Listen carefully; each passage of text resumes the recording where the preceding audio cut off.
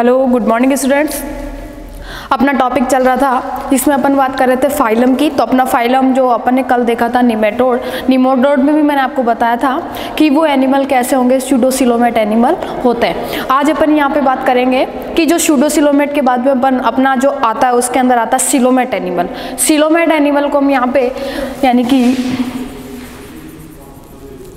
Coelomate जो animal होंगे, यानी गुही, यानी कि दे गुही जो एनिमल होंगे, इन एनिमल के अंदर हम सबसे पहला फाइलम लेंगे कौन सा? एनलिडा संघ। आपने नाम सुना होगा एनलिडा संघ। ये हायर वर्म होते हैं। यानी हायर वर्म यानी उच्च क्रमी जिन्हें कहा जाता है, ये उच्च क्रमी कहलाते हैं, क्योंकि ये जो हायर एनिम यानी कि हायर वर्म्स होते हैं, जिनको किसमें रखा गया है? एनलिडा के अंदर रखा गया है। ये जो एनलिडा संघ के एनिमल होते हैं, ये क्रमी रूपी एनिमल होते हैं। शरीर के ऊपर क्या पाए जाएँगे यहाँ पे? सेगमेंटेशन पाया जाता है। छोटे छोटे वलयाकार संरचनाएँ पाई जाती है। शरीर के अंदर क्या पाई जाएगी? वास्तविक देहगुहा। वास्तविक देहगुहा।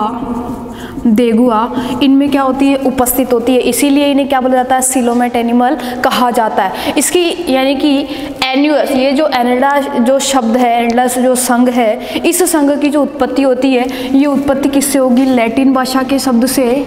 लेटिन भाषा के शब्द से होगी और लेटिन भाषा का जो शब्द होगा, वो कौन सा होगा? एन्यूअस एन्यूअस शब्द से होगी। और एन्यूअस शब्द का मतलब यहाँ पे लिया जाता है, जिसका अर्थ होता है छोटे वलय। एन्यूअस शब्द का जो अर्थ होगा, वो होंगे छोटे वलय। तो ये यानी कि इनकी बॉडी यानी कि ये जो एंडा संघ के जो एनिमल होंगे, इनके शरीर के ऊपर छोटे छोटे रिंग लाइक स्ट्रक्चर पाई जाएगी, जिन्हें क्या बोला जाएँगे? स्मॉल रिंग्स कहा जाएगा, छोटे वलन कहा जाएगा। अब यहाँ पर बात करेंगे कि इस संघ में आने वाले जंतुओं का जो शरीर होता है, वो विखंडित होता है, और वलय, यानी कि यहाँ पर शरीर के ऊपर वलयाकार वलयाकार खंड पाए जाते हैं। और ये जो वलयाकार जो खंड होते हैं, ये वलयाकार खंड ही क्या होते हैं? छोटे छोटे रिंग लाइक स्ट्रक्चर होते हैं। लेकिन लीनियस जो साइंटिस्ट हैं लीनियस ने बताया था कि सभी कोमल शरीर वाले क्रमी इस वर्मिस में रखे गए हैं। यानी कि एक साइंटिस्ट मैंने बताया आपको, यहाँ पे लीनियस लीनियस ने कहा कि जो सभी कोमल शरीर वाले एनिमल होते हैं, कोमल शरीर वाले। जो एनिमल होते हैं, शरीर वाले जो एनिमल होंगे, उनको किसमें रखा गया है? यहाँ पे वर्मिस में रखा गया है। वर्मिस में रखा गया है जो कोमल, सॉफ्ट, जिनकी बॉडी स्ट्रक्चर होगी, उनको किसमें रखा गया है? यहाँ पे वर्मिस में रखा गया लेकिन यहाँ पर बात करें जो लेमार्क साइंटिस्ट है, उन्होंने उच्च कर्मियों के लिए एक संघ की स्थापना की। तो यहाँ पर हमने बात की कि लीनियस के बाद में कौन से साइंटिस्ट? लेमार्क। लेमार्क ने हायर एनिमल के लिए यानी कि उच्चतर कर्मियों के लिए। उच्चतर क्रमियों के लिए एक संघ की स्थापना की और उस संघ का क्या नाम रखा गया? एनलिडा संघ रखा गया। क्योंकि इस एनलिडा संघ के अंदर यहाँ पे जो शब्द है एनुअस इसकी, इसका जो अमीन होगा वो होगा छोटे वलय और ये छोटे वलय होंगे यानी वलाकार खंड होंगे और ये शरीर के ऊपर क्या होंगे? प्रेजेंट होंगे। तो ये बात हुई इनके, यानी कि शब्द किससे होगा इसका यानी यहाँ पे कि कौन से शब्द का लेटिन भाषा के शब्द से ये एनिडा बना है। इसी के साथ साथ लीनियस ने किस केज में रखा इसको वर्मी से रखा है, क्योंकि इनकी बॉडी स्ट्रक्चर के, यानी कि कई जो एनिमल होंगे, उनका जो शरीर स्ट्रक्चर होगा, वो कैसा होगा, यहाँ पे कोमल प्रकार का होगा, उनको तो वर्मी में रखा। लेकिन लेमार्क ने किसमें रखा, उच्चतर कर्मियों को, जिनकी बॉडी के ऊपर सेगमेंट्स पाए जाते हैं, उनको किसमें रखा? एनेडा संघ के अंदर रखा। ये अपनी यहाँ पर बात होती है। अब अपन बात करेंगे कि जो एनेडा संघ के जो जंतु होते हैं, ये जंतु स्थलीय और जलीय आवासों में दोनों में पाए जाते हैं। जो एनेडा संघ के जो जंतु होते हैं ये स्थलीय आवास में भी पाए जाते हैं। स्थलीय आवास के साथ साथ ही किसमें पाए जाएँगे? जलीय आवास में भी ये पाए जाते हैं। अब बात करेंगे अपन साइलेंट यहाँ पे करेक्टर्स की साइलेंट फीचर्स की बात करेंगे कि जो एनिडा संघ के जो जंतु होते हैं, उनके करेक्टर क्या क्या होते हैं, किस प्रकार का इनका बॉडी स्ट्रक्चर होता है। तो एनिडा संघ का जो जंतुओं का जो बॉडी स्ट्रक्चर होता है, यानी शारीरिक संगठन जो होता है, वो अंग तंत्र स्तर का होता है। तो शारीरिक संगठन, शारीरिक संगठन किस प्रकार का होगा? अंग, तंत्र, स्तर का शारीरिक इसमें संगठन पाया जाएगा। किन की बात कर रहे हैं? एनेडा संघ के जंतुओं की। इनका, इनके जो शरीर है, इस शरीर के अंदर जो सिमेट्री पाई जाएगी सिमेट्री के साथ साथ ये किस प्रकार के होंगे? किस प्रकार के ब्लास्टिक होंगे? ट्रिप्लो ब्लास्टिक होंगे या बाई तो यहाँ पर बात करेंगे कि ये जो एनिमल होंगे, इनमें बायोलेट्रल सीमेट्री पाई जाएगी। यानी द्विपार्श्व सम्मिति इसमें पाई जाएगी। और ये एनिमल कैसे होंगे? ट्रिप्लोब्लास्टिक होंगे। ट्रिप्लोब्लास्टिक को क्या बोल सकते हैं? त्रिकोरकी। त्रिकोरकी एनिमल होते हैं। साथ ही साथ ये कैसे होंगे? वर्म लाइक होंगे। वर्म लाइक वर्म लाइक को क्या कहा जाता है यहाँ पे? क्रमी रूपी क्रमी रूपी ये एनिमल होते हैं। नेक्स्ट अपन बात करें कि जो एनेडा संघ के जो जंतु होते हैं, इन इनके बॉडी के ऊपर क्या पाया जाता है? विखंडन रूप में खंडन पाए जाते हैं। यानी सेगमेंटेशन पाया जाता है, खंडन पाया जाता है। ये खंडन भी किस प्रकार का होगा? इस खंडन के दौरान। यानी बॉडी में क्या पाई जाएगी यहाँ पे? सिलोम पाई जाएगी और सिलोम भी किस प्रकार की होगी?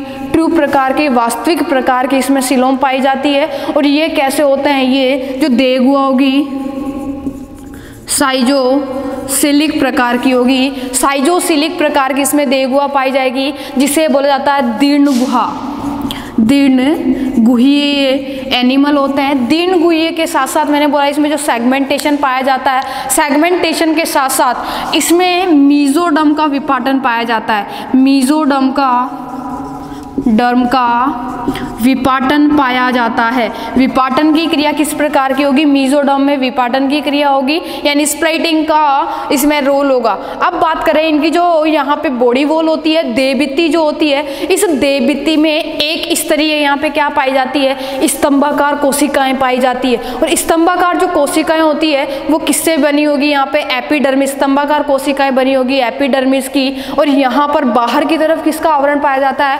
क्यूटिकल का आवरण। तो यहाँ पे बात करेंगे हम, स्तंभाकार स्तंभाकार सेल्स पाई जाती है। और ये सेल्स किससे बनी होगी? अधिचर्म अधिचर्म को हम क्या बोलेंगे यहाँ पे? एपिडर्मिस एपिडर्मिस से बनी होगी। और एपिडर्मिस में यहाँ बात करें कि एपिडर्मिस के ऊपर जो पाया जाता है, वो पाया जाता है क्यूटिकल आवरण। क्यूटिकल का एक आवरण पाया जाता है, जो बाहरी आवरण होता है, और इस आवरण में, यहाँ पे क्यूटिकल के आवरण के अंदर दो प्रकार की मसल्स पाई जाती है।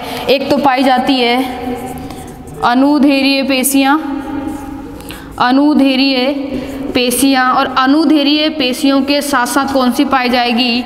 वर्तुल पेशियाँ। वर्तुल, पेशियाँ इसमें पाई जाती है। तो यहाँ पे जो क्यूटिकल का आवरण, जो बाहरी आवरण पाया जाता है, ये बाहरी आवरण किस प्रकार का होगा? यहाँ पे इसके अंदर बाहरी आवरण में किस प्रकार की मसल्स पाई जाएगी? अनुधेरीय मसल पाई जाएगी, और इसमें ही कौन सी पाई जाएगी? वृतुल प्रकार की पेशियाँ भी इसमें पाई जाती है। अब हम बात करेंगे कि इनके अंदर जो गमन की क्रिया होती है तो गमन किस प्रकार का होगा? इस गमन में स्पाइलेट्स पाई जाएगी, यानी शूक पाए जाएँगे। क्या पैरापोडिया पाए जाएँगे। तो कौन सी प्रकार की यहाँ पे यहाँ पे लोकोमोशन के लिए, यानी यहाँ पे गमन के लिए कौन से ऑर्गन हेल्पफुल होंगे? तो अपन बात करेंगे कि जो एनेल्डा संघ होते हैं, आपको पता है, एनेल्डा संघ के अंदर मैंने बताया कि बॉडी के ऊपर क्या पाए जाएँगे सेगमेंटेशन पाए जाएँगे। और एक एक जो खंड होगा, इसके पार्श्व के अंदर यहाँ पे, पार्श्व के अंदर यहाँ पे गमन के लिए क्या पाए जाएँगे लोकोमोटरी ऑर्गन पाए जाएँगे। तो यहाँ पे गमन के लिए काइटिन के शूक पाए जाते हैं। कौन से शूक होंगे काइटिन के काइटिन शूक इसके अंदर पाए जाएँगे? स्पाइन जिन्हें बोलेंगे, यहाँ पे काइटिन के शूक पाए जाएँगे। साथ ही साथ इसमें क्या पाए जाएँगे? यहाँ पे पैरापोडिया पाए जाएँगे। पैरा पोडिया इन पैरापोडिया को क्या कहा जाता है? पार्श्व पाद कहा जाएगा। पार्श्व पाद के साथ साथ इनके अंदर क्या पाई जाती है यहाँ पे? पैरापोडिया के साथ साथ इनमें क्या पाए जाएँगे? चूसक पाए जाएँगे, जिनको क्या बोलते हैं? शुकर कहते हैं। तो इसमें इसमें क्या पाए जाएँगे? चूसक प्रेजेंट होते हैं। तो ये क्या होंगे? लोकोमोटरी ऑर्गन हो गए जो गमन में सहायक होता है। पैरापोडिया जो मैंने बताया अभी, प्रत्येक खंड में, जैसे कि ये क्या है? एनिडा एनिमल है। इसके प्रत्येक खंड में पार्श्व की और एक एक जोड़ी क्या पाए जाएँगे? पार्श्व की तरफ़ पाए जाएँगे और ये एक एक जोड़ी क्या कहलाएँगे? पैरा पोडिया कहलाते हैं। क्या कहलाएँगे? पैरापोडिया कहलाते हैं। जो किसमें सहायक होते हैं? पैरापोडिया गमन में सहायक होते हैं। अब बात करें जो इनके अंदर मैंने आपको बताया देगुआ पाई जाएगी। जो देगुआ किस प्रकार की होगी? ट्यूब प्रकार की देगुआ होगी। और इस देगुआ के अंदर ही क्या हो? प्रेजेंट होगा। देखो, इसके अंदर क्या प्रेजेंट होगी? देहगुहा। और साइजोसिलिक प्रकार की देगुआ बताई मैंने आपको। तो जो देगुआ होगी, वो कैसी होगी? यहाँ पे ट्यूब प्रकार की होगी। ट्यूब प्रकार की देगुआ में सिलोमिक फ्लूड भरा होगा। सिलोमिक फ्लूड भरा होता है। इस सिलोमिक फ्लूड में क्या प्रेजेंट होती है? सेल्स भी पाई जाएगी। सेल्स के साथ कार्पल्स पाई जाती है, जिन्हें क्या कहा जाता है? कणिकाएँ कहा जाता है। तो इस सिलोमिक फ्लूड में क्या प्रेजेंट होगी? सिलोमिक फ्लूड में एक तो सेल पाई जाएगी, कोशिकाएँ पाई जाएगी। कोशिकाओं के साथ साथ कणिकाएँ भी इनमें पाई जाती है। अब अपन बात करें इनके अंदर जो एलिमेंट्री कैनाल होती है आहरनाल जो होती है, ये आहरनाल कैसी होगी? सरल प्रकार की होगी। सरल के साथ साथ अपन क्या बोलेंगे? कंप्लीट प्रकार के सिंपल प्रकार की इसमें क्या प्रेजेंट होगी? एलिमेंट्री कैनाल पाई जाएगी। और ये एलिमेंट्री कैनाल कैसी होगी यहाँ पे? कंप्लीट प्रकार की, पूर्ण प्रकार की होगी। और पूर्ण भी कैसी होगी? इसकी जो आकृति होगी, वो लंबी, नलाकार, संरचना होगी। पाचन के लिए ये कैसे होंगे? बहुकोशिकीय प्रकार का इसमें पाचन होगा। तो यहाँ पे अपन बात करें कि ये कैसी होगी? लंबी, नलिकाकार स्ट्रक्चर होती है और इसके अंदर जो पाचन की जो क्रिया होती है, पाचन, वो कैसा होगा? बहुकोशिकीय कोशिकीय प्रकार का। तो डाइजेशन यहाँ पे कैसा होगा? मल्टी सेलर प्रकार का यहाँ पे एक्स्ट्रा सेलुलर बोल सकते हैं अपन। तो यहाँ पे बहुकोशिकीय या बहिर्कोशिकीय भी बोल सकते हैं। बहिर्कोशिकीय प्रकार का यहाँ पे क्या होगा? डाइजेशन इसमें पाया जाएगा। अब अपन बात कर रहे हैं कि इनके अंदर जो सर्कुलेशन होता है ब्लड का जो सर्कुलेशन चलता है तो जो अब आपको पता है यहाँ पे सर्कुलेटरी सिस्टम दो प्रकार के होते हैं। एक तो होता ओपन टाइप एक होता है क्लोज टाइप आप ध्यान रखना कि एनिडा संघ ही एक ऐसा संघ है जिसमें बंद प्रकार का परिसंचरण तंत्र पाया जाता है। तो यहाँ पे हम क्या बोलेंगे कि इसमें जो यहाँ पे रक्त परिसंचरण होता है, रक्त परिसंचरण तंत्र किस प्रकार का होगा? यहाँ पे क्लोज टाइप होगा, यहाँ पे बंद प्रकार का होगा। और बंद प्रकार में हम क्या बोलेंगे यहाँ पे? कि जो यहाँ पे रक्त जो बहता है, ये रक्त किसमें बहेगा? यहाँ पे रक्त वाहिनियों में। और रक्त वाहिनियों के अंदर ही क्या होगा? रक्त का जो बहाव होगा वो किन में होगा?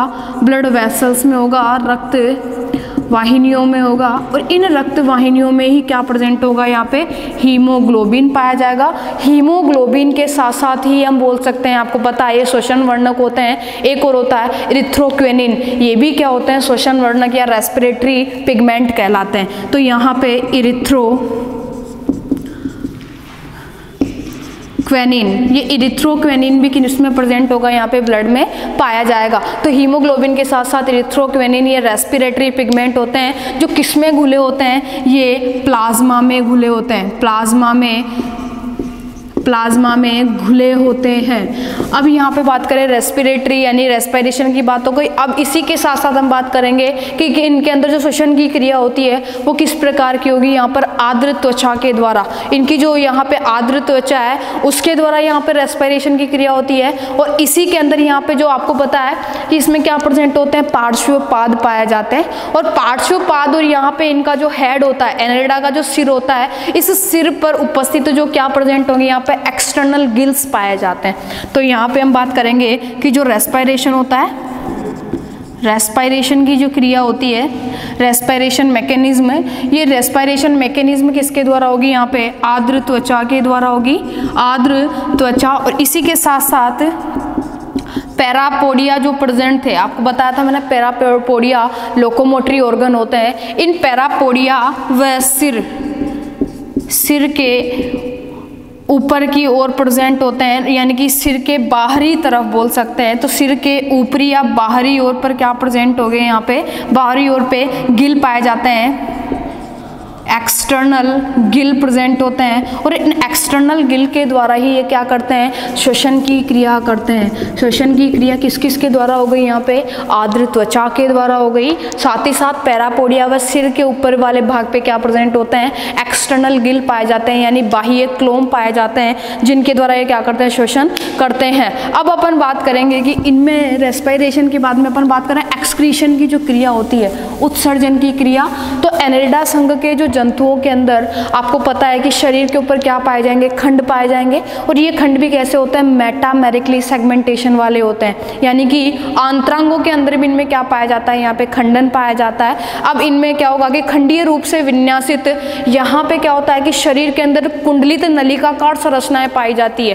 तो उत्सर्जन के लिए, उत्सर्जन के लिए यहाँ पे शरीर में क्या होगा? यहाँ पे शरीर विखंडित भाग के अंदर कुंडलित नलिकाकार संरचनाएँ पाई जाती है। नलिकाकार स्ट्रक्चर या रचनाएँ पाई जाती है। इन नलिकाकार संरचनाओं को ही क्या कहा जाता है? नेफ्रीडिया नेफ्रीडिया और ये नेफ्रीडिया किसमें सहायक होता है? एक्सक्रीशन की क्रिया के अंदर ये क्या होते हैं? हेल्पफुल होते हैं। इसी के द्वारा ये क्या होता है? यहाँ पे इन्हें वृक्क कहा जाता है, जो क्या करते हैं? एक्सक्रीशन में हेल्पफुल होते हैं। अब इनके अंदर बात करें कि इनके अंदर जो नर्व सिस्टम होता है, यहाँ पे नर्व सिस्टम की बात करें तो नर्व सिस्टम किस प्रकार का पाया जाएगा? वेल डेवलप प्रकार का, यानी बोल सकते हैं हम, सुविकसित प्रकार का क्या पाया जाता है इसमें? तंत्रिका तंत्र पाया जाता है। ये बात चल रही है एनिडा संघ की। इसके अंदर अपन एनिमल ले सकते हैं, जैसे केचुआ वगैरह।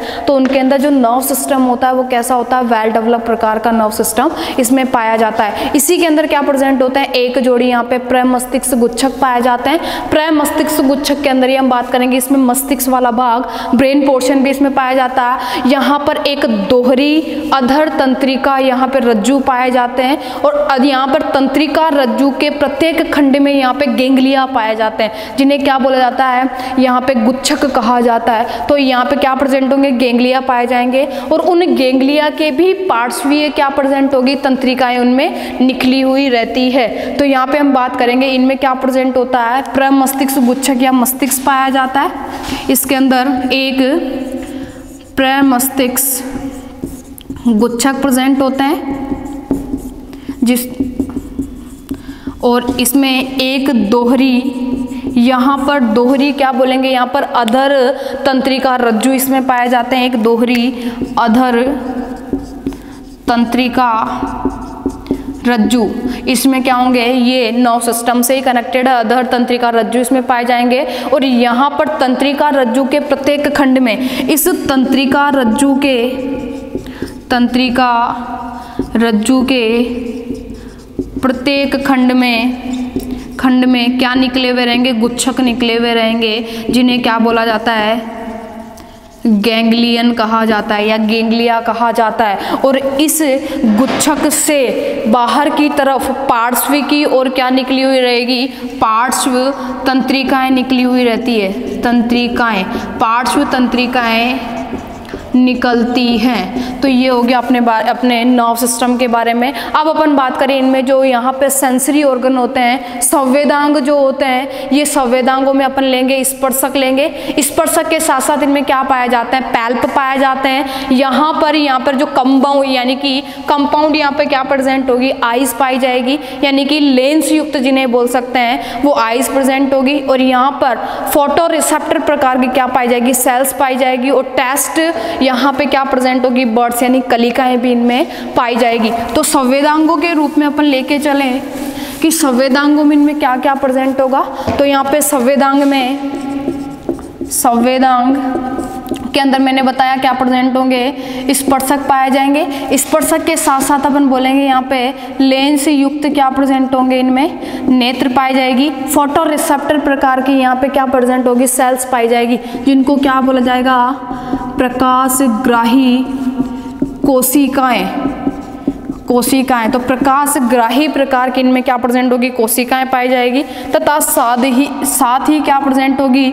स्वाद कलिकाएँ भी इनमें प्रेजेंट होती है। ये होंगे यहाँ पे संवेदांगों के रूप में प्रेजेंट नेक्स्ट क्लास के अंदर अपन इनमें करेक्टर की बात करेंगे कि इसके अंदर रिप्रोडक्शन किस प्रकार का होगा, यहाँ पे डेवलपमेंट किस प्रकार का होगा। इनके अंदर यहाँ पे जो गोनार्ड्स के लिए जो ग्लैंड्स होगी, वो कौन कौन सी होगी? इनके अंदर ये कैसे एनिमल होंगे तो डिटेल में नेक्स्ट क्लास में इसमें क्लासिफिकेशन भी देखेंगे।